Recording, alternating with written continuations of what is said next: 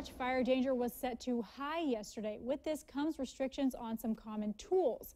KEZI 9 News reporter Madison Glassman spoke to a fire official today to learn how what you can do to prevent fires. Fire danger is at an all-time high. An official with Lane Fire Authority wants to remind people there are restrictions in place for when you can use tools such as lawnmowers and chainsaws.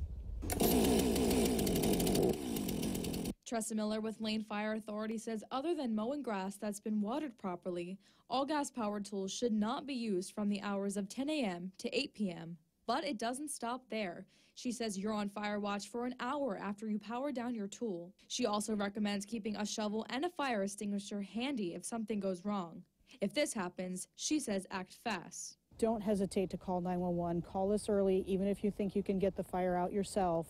We really encourage folks, if there is a problem, to call us early because the fire spread is very, very high this time of year. She says they've been receiving a lot of phone calls from neighbors that are concerned when they hear other neighbors using these tools. Miller says if you see or hear anyone using gas-powered tools during restricted hours, you're asked to call the non-emergency dispatch number. For now reporting in Eugene, Madison Glassman, KEZI 9 News.